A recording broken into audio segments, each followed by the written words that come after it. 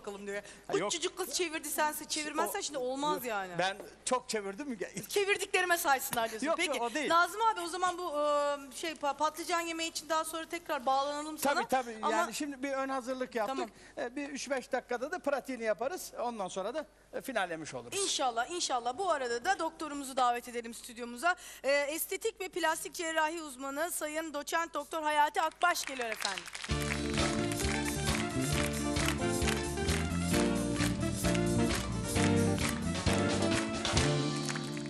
Efendim.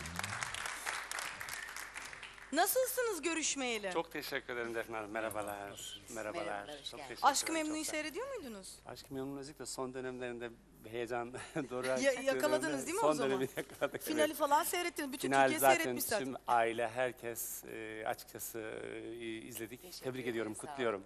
Teşekkür Tamam. ederim. Sizi biraz böyle az- şöyle bir a- azıcık azıcık kaydırsam size olacak mı? tabii ha, ki, siz de orada rahat edin diye. Olsun, Tamam. tabii. Böyle de Ramazan dolayısıyla kerevette oturuyoruz. İnşallah hayat içinde de kerevete çıkmak nasip olur. Ee, şimdi Hayati Bey, e, geçen konuşmamızda bu esasında göğüslerin büyüklüğünün e, verdiği rahatsızlıklardan falan bahsetmiştik ama e, bu bu sefer de estetikle sağlığın hani beraber değerlendirildiği uygulamaların neler olduğunu konuşmak istiyoruz.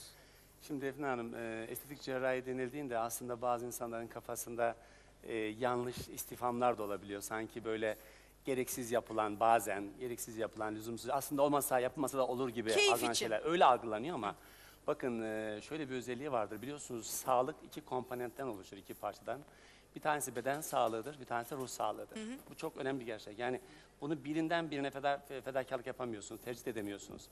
Dolayısıyla estetik cerrahi dediğimiz zaman estetik plastik cerrahi beden ve ruh sağlığına olumlu yönde katkıda yapılan aslında tıbbi cerrahi uygulamalar, cerrahi ve cerrahi dışı uygulamalar akla Ne geliyor. oldu? Beni gözünüze mi kestirdiniz? Böyle beden falan yaptınız. Hayır, hayır, hayır, hayır.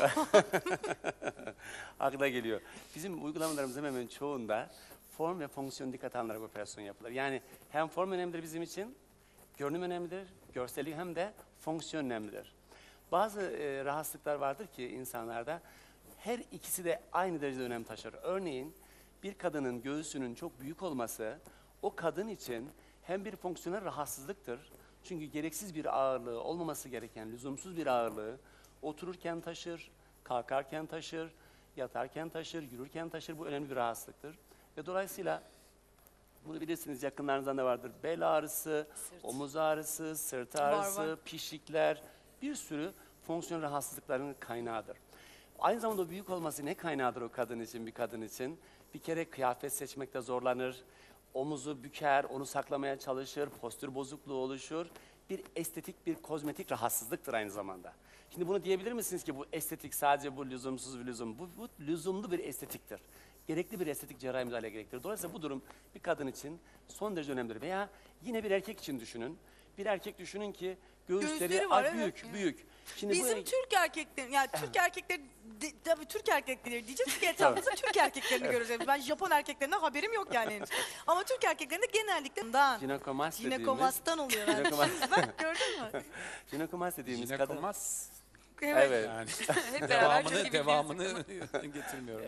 ben. Evet. Eski Fenerbahçeli Thomas değil mi? Bir şey oldu. Öyle mi? Buyurun hayatım. Kadınlarda e, nasıl ki bu meme büyüklüğü bir önemli psikolojik veya sağlık sorunu ise bir erkek için de kadın tipi bir memenin varlığı hem psikolojik olarak hem de hakikaten fiziksel olarak bir rahatsızlık kaynağıdır. Defol. Ve bunun da bir plastik estetik cerrahi müdahalesiyle mutlaka düzeltilmesi gerekir. O kişi için Ama mutlak zorunluluk arz eder. gerçekten Şimdi onu yaptıktan sonra izi kalmıyor mu? Hayır, hayır. O da çok güzel bir soru. Bıçak at izi kalsın. Birçok Ben buldum soruyu. Buyurun. Tabii soruyu siz buldunuz. Mesela jinekomasti dediğiniz erkeklerde çok sık oluyor. Bakın 100 erkeğin 60'ında yuvarlak hesap söylüyorum. Jinekomasti vardır. Kimisinde biraz hafiftir, kimisinde ortadır, kimisinde ileri derecededir. Bende Oldukça nasıl sıktır. hocam? Sizde fena gözükmüyor.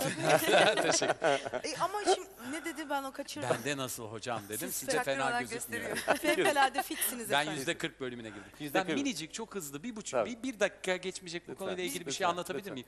Hemen hızlı. Tabii. Bir tane hanımefendi e, 55 yaşlarında falan böyle hastanede artık son nefesini verecek Allah korusun. Böyle burada serumlar falan filan bütün arkadaşları toplanmış kadının artık ölmesini bekliyorlar derken kadının karşısına aksakallı bir dede çıkıyor ve diyor ki Fıkra bu. ha. Yo 27 senen 22 ayın işte 27 saniyen daha var diyor. Sen ne yapıyorsun buralarda deyince kadın bir güvenle tak serumları söküyor falan Çıkıyor böyle arkadaşları şok halde ne yapıyorsun? Ya süperim ben diyor nasıl olur falan derken hastaneden tam çıkarken hastane estetik bölümünde hocamıza rastlıyor. Ve Hayati ho- hoca, Bey'e. Ha- Hayati Bey'e ve diyor ki bari gideyim Hayati Bey de hayatımı şöyle bir değiştireyim diyor. Ve komple göz göz falan filan e, Her sarkma ve her şeyi yaptırıyor. Fakat e, hastaneden çıktıktan sonra tam karşıya geçerken bir tane otobüsün altında kalıyor.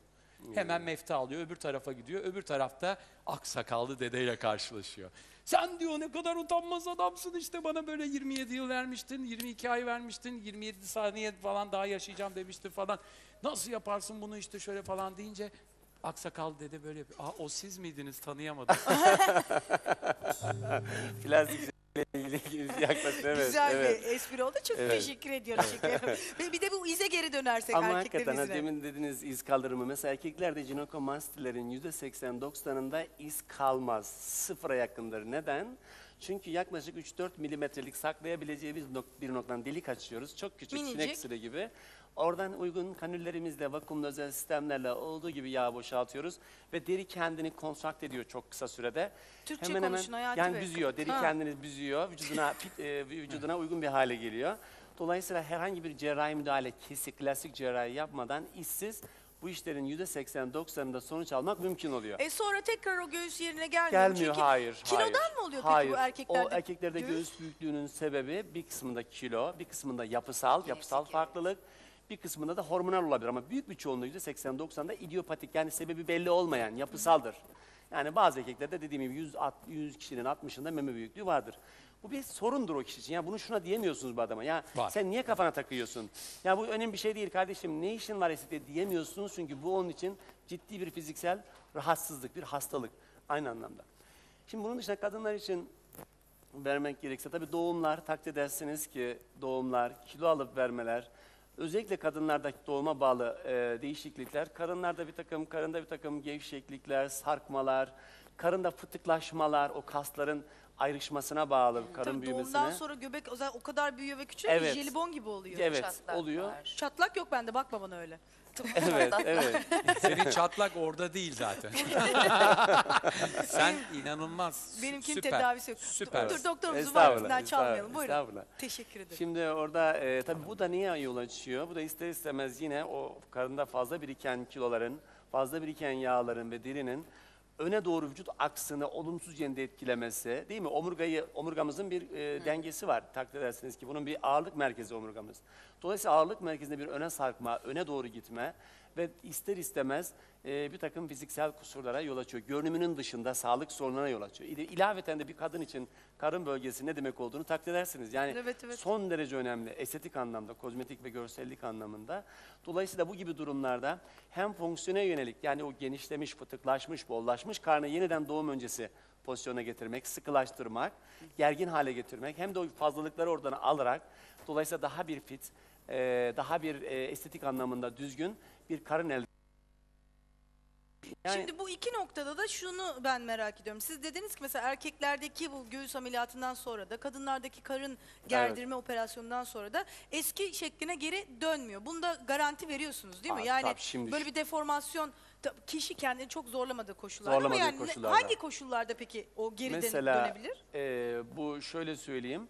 Bir karın operasyonundan veya bir karın estetiğinden sonra normal bir görünüme kavuşturulmuş, estetik bir görünüme kavuşturulmuş karının tekrar o önceki doğum önce doğumdan sonraki hale deforme hale gelmesi imkansıza yakındır normal koşullarda. Hangi koşullarda gelebilir?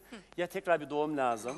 O olayın tekrar yeniden yaşanması için veya standart dışı, olağan dışı bir kilo almak lazım. Yani şimdi 60 yaşındaki ka- 60 kiloluk kadın eğer 120 kiloya çıkarsa e, her taraf zaten tabii. bir takım ama hiçbir zaman için o doğum öncesi gevşekliğe, sarkıklığa kilo alsa bile kolay kolay gelmez. Bunun- Tabii ki Bunun altına ben de imzamı atıyorum çünkü Tabii. yani yaşanmış bir şey olarak e, benim görümcemin bir arkadaşı ameliyat Tabii. olmuş ve daha sonra da yine kilo almış üstüne. Tabii. Yani o 15-20 kilo falan almış olmasına rağmen karnında hiçbir sarkıklık Evet. tekrar etmemiş. Böyle de bir garantili de bir operasyon o eski yani. haline gelmez.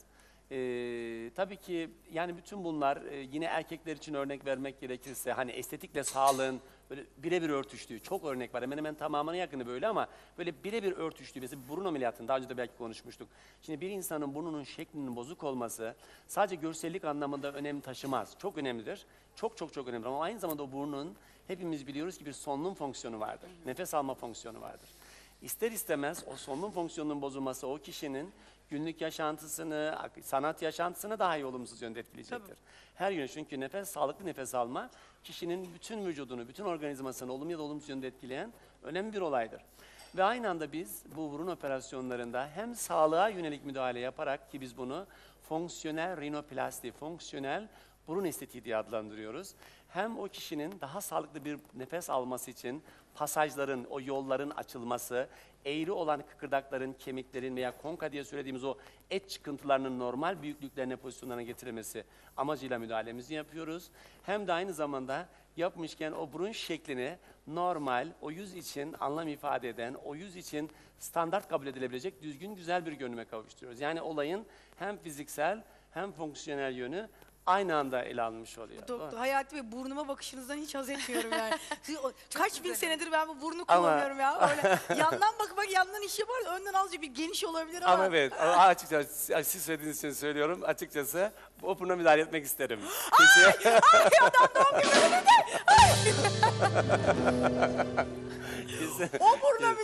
Yani Kesinlikle. bu burnuma elletmem kimseye dokunmam. yani o sizin şeyiniz ya tabii şimdi ama ben öyle bir dediniz bak şimdi herkes burnuma bakıyordur. Ne kadar utanç Ama verici yo, bir şey. çok güzel. Kötü Yani değil. yüzde Hayır, çok bunun uyandı kesinlikle kötü buna. değil. Onda mesela ucundaki eti Evet. almak ister, yandaki kanatları Evet, düzeltmek ister. evet, Onu ben de evet. isterim ama Evet. Rabbi Teala Ya, beni öyle bir şey böyle söyleyeceğim gönderdiyse ama ben onu çok yani? sevmiyorum ya. Şimdi yani şöyle, herkes de aynı, aynı burun, burun. böyle Değil. şey gibi. Oraya bir parantez açayım. Bakın şimdi burun estetiği, fonksiyonel rinoplasti dediğimiz olay artık şudur, konsept şudur.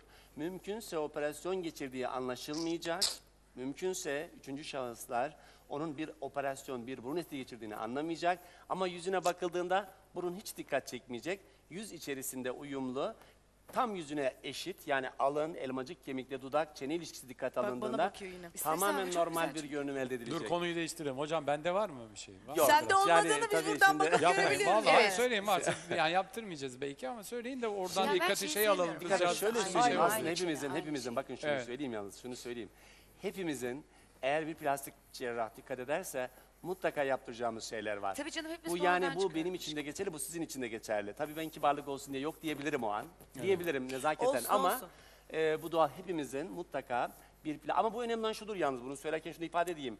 Eğer o kişiyi rahatsız etmiyor ise yani var olan durum kişiyi rahatsız etmiyor. O onunla barışık ise bunun hiç zorlamanın alemi yok. Ancak kafasının arka perdesinde, arkasında Tabii, psikolojik bununla ilgili olarak. bir sorun var ise bunun tek tedavisinin o sorunun düzeltilmesinin tek yolunda cerrahi olduğunu bilmek bilmekte fayda var. Ya bende Yoksa mesela illa- kemik büyümesi var ya e, korkuyorum burnuma bir şey olacak diye. Ben seviyorum mesela. Okka gibi bir burnum var daha ne yani istiyorsun hayır ya? ama şimdi bakıldığı Bu zaman peki işte kanat burnuna da gider, müdahale öteki etmek ister bilmem ne misiniz? olur diyebilirler. Yani hayır. e, Tabii buna et- şöyle, etmek şimdi ister, söyle, şöyle söyle. etmek istersem ederim. o ayrı bir olay ama burada önemli olan şudur bakın.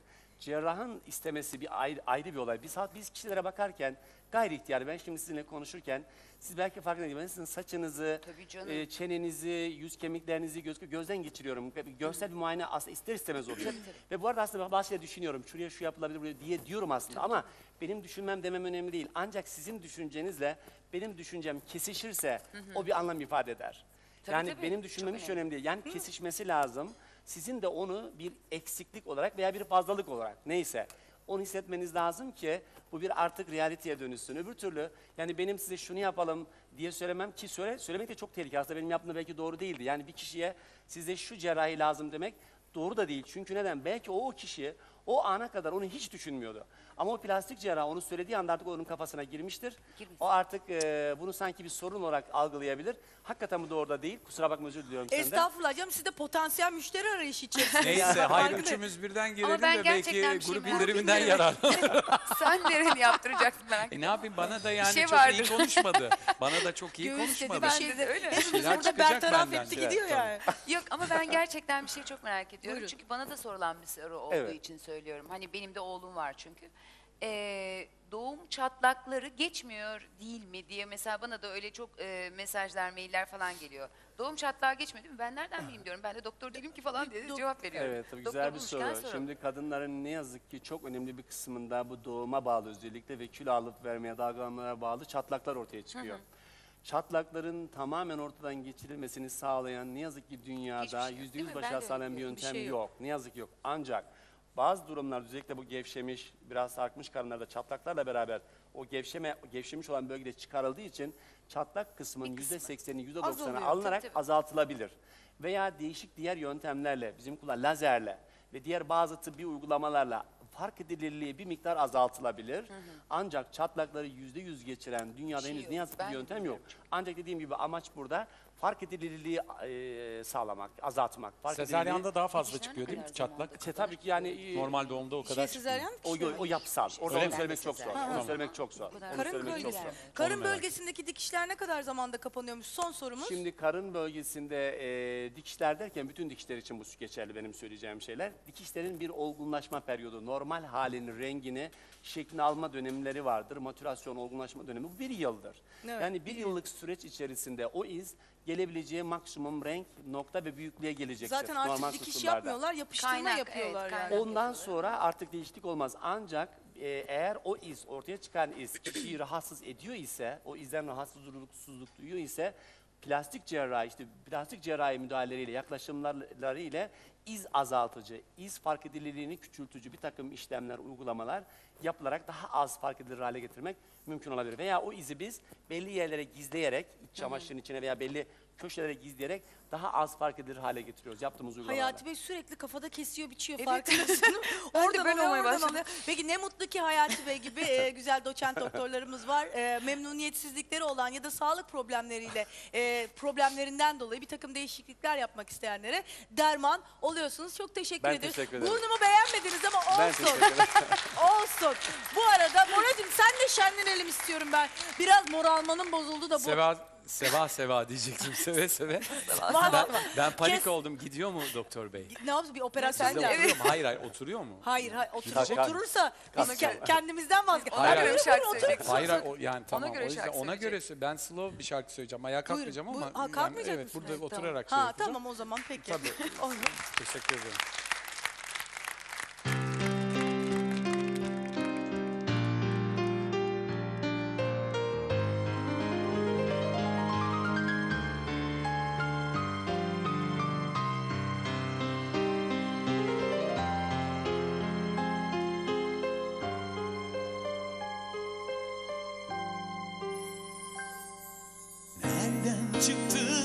Birdenbire karşıma.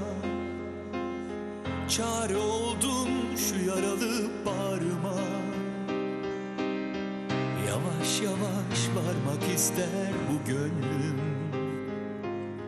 Senin yalan dolan bilmez tavrına.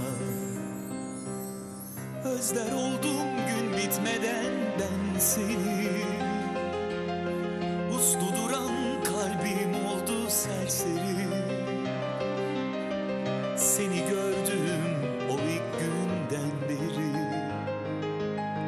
Sen sen kokuyor odamın her yeri. Aşık oldum sana Uyku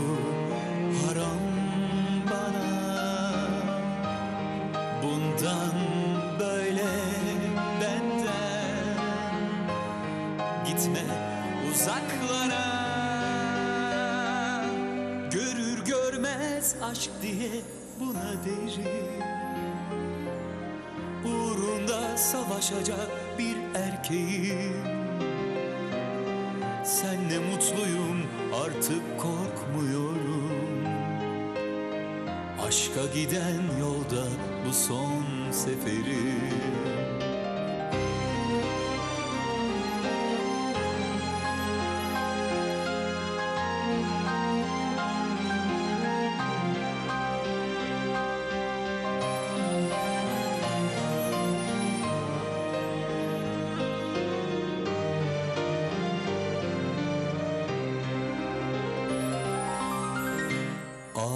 Aşık oldum sana.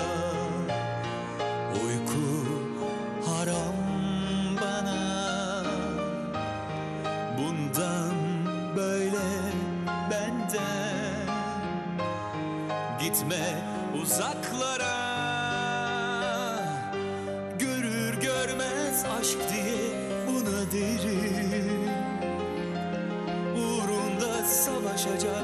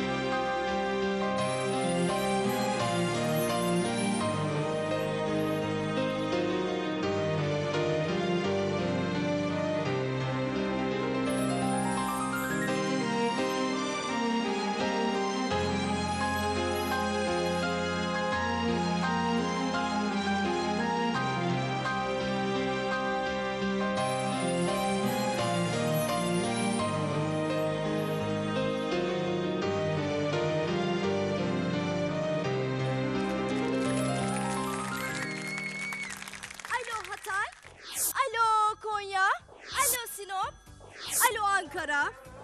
Alo Bolu. Alo Elazığ. Alo Mardin. Alo Ayşe Hanım. Alo Eskişehir. Alo Ankara. Alo Batman. Hediye zamanı. Evet, uzun bir ara oldu galiba. Biraz az mı hediye verdim? Hemen o arayı kapatalım. Size yine çok çok çok güzel hediyeler vereyim ben. Hemen gelsin telefonumu. Nuray Hanım, Efendim, hoş geldiniz. hoş bulduk Zeynep Hanım. Nasılsınız? Bizler iyiyiz, sizler nasılsınız? Sağ olun, çok teşekkür ediyoruz. Dört gözle bekliyoruz saatinizi. Dört gözle bekliyorsunuz. Evet, o zaman her gün izliyorum. Her gün izliyorsunuz ne güzel. O zaman ben size şöyle bir şey yapayım. Geçen haftadan bir soru sorayım olur mu? Tabii. Vay canına Nuray Hanım harikasınız. Ama yine size şöyle bir soru Valla sorayım. günlük gibi tutuyorum. Nasıl? Günlük gibi yazıyorum. Yoksa e, Oo. unutuluyor bazı şeyler. Tabii sonra vermiyorum ben hediye. Ben size şimdi kolay bir soru soruyorum yine. Bugün iki Bekliyorum. konuğumuz var. Bora Bey'i zaten söyledik. Efendim Aşkı Memnun'da oynayan Ufuk oyuncumuz. Süpersiniz. Evet, izliyorduk Aşkı Memnu'yu da evet. Zevkle. Evet daha cümlemi bitirmeden zaten cevap verdiniz Nuray evet. Hanım. O zaman ben de size hemen hediyelerinizi vereyim. Hazır mısınız? Hazırım.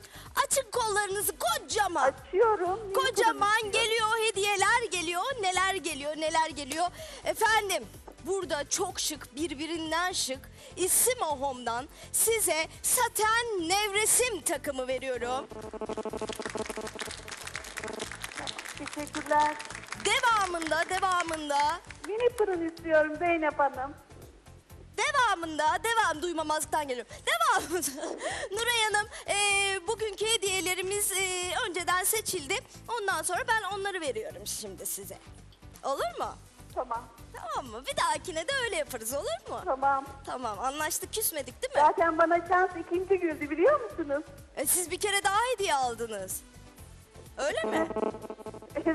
Oo, memnun kaldınız bir daha. Tabii ben İşte. devamlı, devamlı her gün iki kontrol atıyorum yani SMS. Oh oh maşallah ne güzel ne güzel çok sevindim. E, bu da gösteriyor ki bir kere hediye verdiğimiz izleyiciye aman bir daha vermeyiz demiyoruz. Sürekli veriyoruz o kadar Tabii da çok, hediye çok veriyoruz. teşekkür ederiz. Evet teşekkürler. E, nevresim takımı verdim yanında şöyle yeşil ılgazdan temizlik paketi veriyorum. Ve bir de yine döndüreceğim seni ama Arbella'dan makarnalar veriyorum.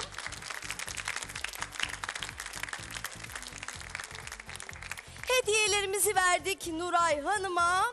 Efendim şimdi bir de şöyle bir durum var. Şimdi dedim de şimdi vermeyeceğim. Efendim bir de incimiz var bugün. İncinin sahibi olmak için ise takı diyorsunuz ve 56 çift sıfıra yolluyorsunuz. Ve yine ben size bir fırsat veriyorum parmaklarınızı rahat rahat çalıştırın diye küçük bir ara reklamlar. Türk sanat müziğinin başarılı ve dikkat çeken ismi Pelin Uyanıker ve unutulmaz kariyeriyle Türk futbolunun en başarılı isimlerinden Tanju Çolak, yarın Çeyiz Show Ramazan Özel'de.